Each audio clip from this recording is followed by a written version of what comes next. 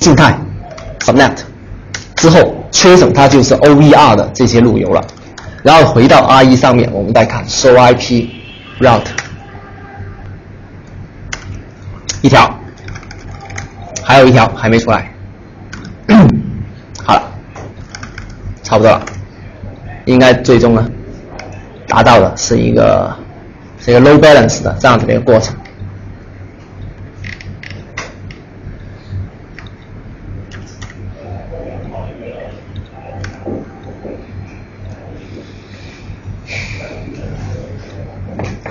啊，那条还没过来，上面这条应该是有两条的，一个是 R 三过来的，另外一个是 R 二过来的。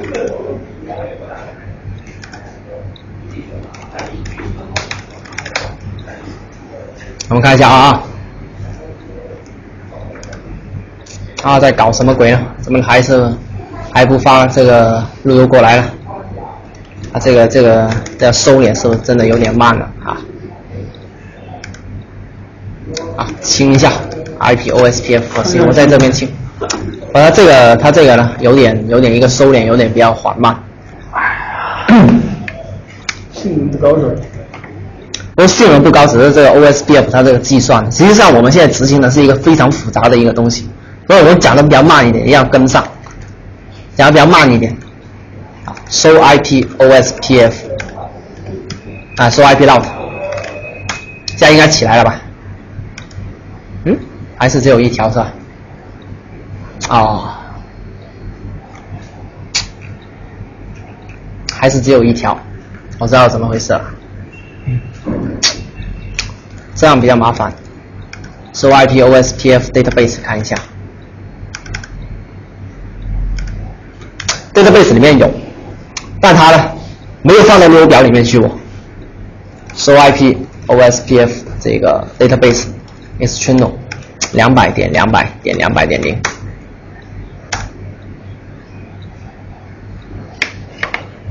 那现在其实在这个 R 一上面已经收到两条 LC 五了，实际实际上现在呢，它都是收到了，可问题呢，现在收到的那一条呢，它它就只是把这条放到这个路由表里面去，另外一条呢，它没放进去。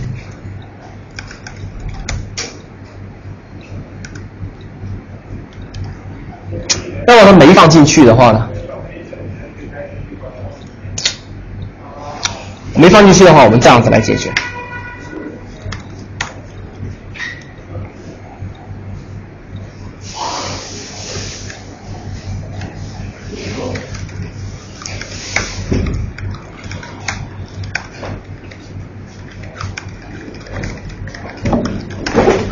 先回去。对，好。待会会解析一下为什么他没有放进去。我们先，我们我们现在先，我们现在目的是为了实现它的这个在负载。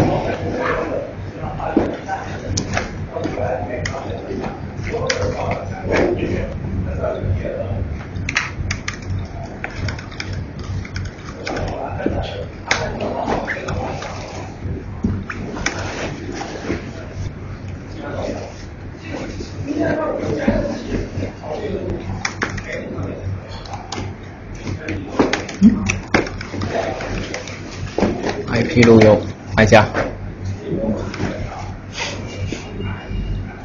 嗯。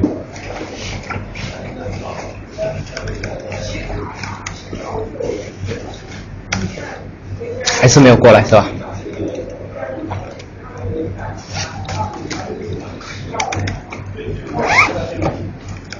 在 R 上面搜 IP OSPF database，我们看一下，这重分布进去了没有？应该应该应该是重分布进去了，那么它应该是把它呢，向这个，应该是转发出去，但就是说现在 R 一三上面呢是没有把这条路由呢放进去，那我们在 R 三上面清一下 OSPF 的这个进程，那么它应该就进去了。为什么那么为什么呢？在我们待会儿就是会给你一个解析的，但是呢，就现在我们关注的不是这个问题。我先实现一个负债，我们现在要要要达到的是一个负债均衡。我们现在要实现的是，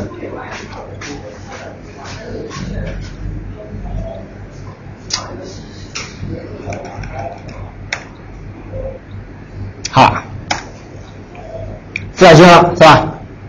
那现在呢？呃，这应该呢是达到了一个这样子的一个负债均衡。那么这个负载均衡是怎么样实现的呢？这个负载均衡它有一个首决的一个条件是在于呢，它这个 match 值啊一定要是一样的。如果你在做重分布的时候，你是手工的去指定了它的这个 match 值，然后呢，在这个时候你说，比如说你在 R 三上面指定的这个 match 值要比在 R 二上面指定的那个 match 值要低的话呢，那在这个时候它会优选由 R 三来进行转发。可问题是，如果当两个这个 matrix 是一模一样的时候，它还其实呢，它还是会继续再选一次的。它怎么样去选择呢？要有一条 IP OSPF border router 这样子一个命令。那这个 border router 这个命令是这样子形成的哦。那它主要呢是来标示现在你这个 R1 上面一共连接着多少个边界路由器。那么这个边界路由器呢，它的范围非常广阔，包括有 ABR、有 ASBR，或者呢是那些 NSFA 的这些 ABR 呢，也算是这个边界路由器。那在这个时候呢，它首先会做一次判断，它用来判断什么东西呢？它是为了去判断现在我连接到的这些 ASBR 上面呢，有没有最短的那个路径到达的，有没有一个最短的路径能够到达？比如说。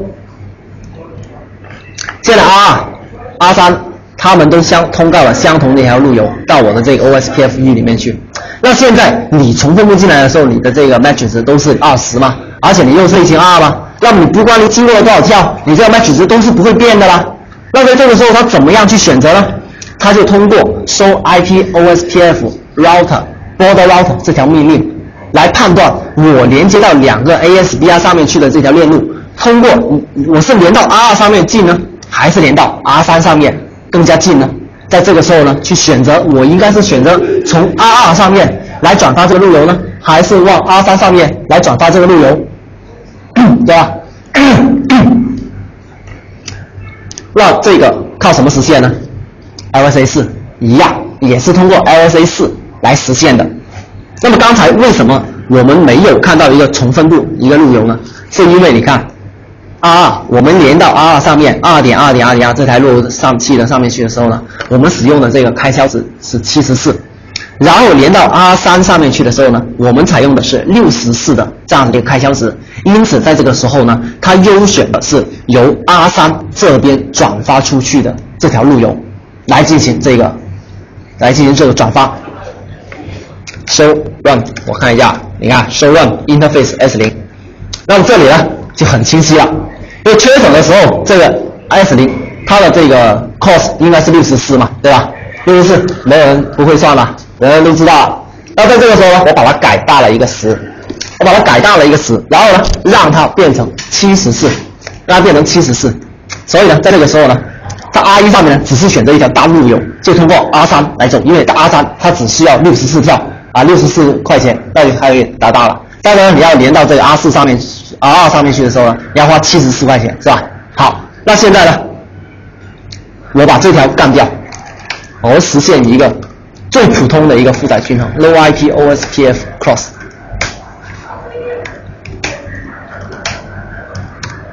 好，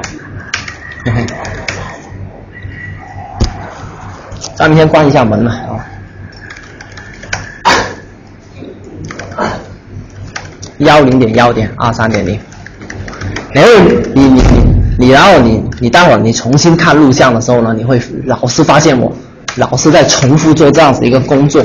那我干这个我我干这个事情用来干嘛呢？啊，待会儿你就知道。这个实验真的非常经典。所以呢，所以这个这个录像它不会传到别的分布上面去的。好。那现在付了是吧？收 IP OS，收 IP loud，我们看一下。哎，好了，现在实现一个负载均衡了，对吧？一条通过 R 去转发，另外一条呢通过 R 三去进行转发，没问题是吧？有没有问题？到到到到目前为止没问题是吧？到目前为止为为为什么呢？